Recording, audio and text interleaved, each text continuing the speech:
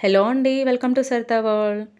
పాస్తాని ఇలా ఒక్కసారి ట్రై చేయండి. పాస్తా చేయడం చాలా కష్టం అనుకున్న వాళ్ళు ఉప్మా చేసినంత ఈజీగా ఈ పాస్తాని చేసుకోవచ్చు అండ్ చాలా టేస్టీగా కూడా ఉంటుంది.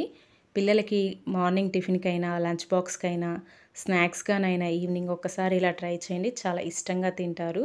దానికి కావాల్సింది ఫస్ట్ స్టవ్ ఆన్ చేసి ఒక మందంగా వెడల్పుగా ఉన్న ఏదైనా గిన్నె కానీ కడాయి కానీ పెట్టుకుని దాంట్లో ఒక రెండు స్పూన్ల నూనె వేసి నూనె వేడైన తర్వాత ఒక స్పూన్ పోపు గింజలు ఒక రెండు రెమ్మల కరివేపాకు వేసుకోండి. దాంట్లోనే కూరగాయలు ఒక పెద్ద క్యారెట్ చిన్న ముక్కలు ఒక రెండు మీడియం సైజు టమాటా చిన్న ముక్కలు ఒక మీడియం సైజు ఉల్లిపాయ చిన్న ముక్కలు ఒక నాలుగు బీన్స్ చిన్న ముక్కలు అలాగే ఒక నాలుగు పచ్చిమిర్చి చిన్న ముక్కలుగా కట్ చేసుకుని వేసుకుంటున్నాను నేను. మీరు కావాలంటే వీటిలో ఏమైనా లేకపోయినా స్కిప్ చేయండి ఉంటే వేసుకోండి. లేకపోతే మీ దగ్గర ఓన్లీ టమాటా ఉల్లిపాయ ఉన్నా కూడా ఈ పాస్తాకి సరిపోతుంది. వెజిటేబుల్స్ వేయడం వలన పిల్లలకి ఇంకా మంచిదని నేను వేసాను వేసిన తర్వాత వాటిని కలిపి ఒక ఐదు నిమిషాలు మగ్గనివ్వండి మూత పెట్టి. ఐదు నిమిషాల తర్వాత ఒకసారి మూత తీసి మళ్ళీ కలిపి దాంట్లోకి ఒక పావు స్పూన్ పసుపు వేసి అలాగే ఒక అర టేబుల్ స్పూను ఉప్పు వేసి అంతా కలిసేటట్టు మళ్ళీ కలిపి ఒక రెండు నిమిషాలు వీటిని మగ్గనివ్వండి.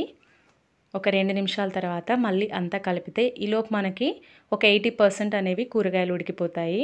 అప్పుడు దీంట్లోకి ఒక రెండు కప్పుల పాస్తా నేను స్ప్రింగ్ పాస్తా తీసుకున్నాను. మీరు కావాలంటే మామూలు మ్యాక్రోని అయినా తీసుకోవచ్చు. మీకు ఎలా నచ్చితే అవి వేసుకోండి. రెండు కప్పులు ఏదైనా కప్పుతో కానీ గ్లాస్తో కానీ కొలిచి వేసుకోండి. నేను రెండు కప్పులు వేసాను వేసిన తర్వాత ఒక ఐదు నిమిషాలు వీటిని మగ్గనివ్వండి.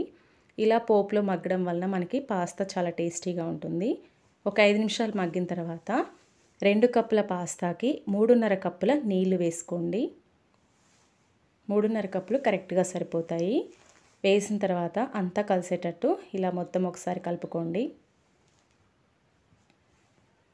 టేస్ట్ ఉప్పు సరిపోయిందో లేదో ఒకసారి చెక్ చేసుకుని ఉప్పు సరిపోతే వేసుకుని మూత పెట్టి వాటిని ఉడకనివ్వండి. అవి ఇలా ఉడుకుతున్న టైంలో ఒకసారి మళ్ళీ కలపండి ఎందుకంటే అంటుకోకుండా ఉంటాయి. ఇలా కలిపి మళ్ళీ అది దగ్గర పడే వరకు ఉడకనివ్వండి.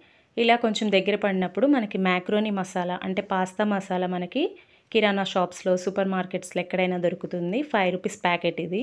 దీంట్లో నేను సగం వేసుకుంటున్నాను. మీకు దొరికితే వేసుకోండి లేకపోతే కొంచెం ధనియాల పౌడర్ వేసుకోండి. ఉంటే మాత్రం ఖచ్చితంగా ట్రై చేయండి. వేసిన తర్వాత అంతా కలుపు కలుపుకుని చూడండి మనకి మరీ టైట్గా అవ్వద్దు ఇది థిక్గా అవ్వద్దు. ఇలా లూజ్గా ఉన్నప్పుడే స్టవ్ ఆఫ్కోవాలి చల్లారిన తర్వాత మనకి ఇది ఇంకొంచెం థిక్గా అవుతుంది. ఇలా ఉన్నప్పుడే స్టవ్ ఆఫ్ చేసుకుని మీకు కావాలంటే కొంచెం కొత్తిమీర కూడా పైన వేసుకోండి. స్టవ్ ఆఫ్ చేసి ప్లేట్లో పెట్టి సర్వ్ చేసుకోండి. ఈజీగా ఉండే పాస్తా రెడీ. ఖచ్చితంగా ట్రై చేయండి. మీకు మీ పిల్లలకి ఖచ్చితంగా నచ్చుతుంది.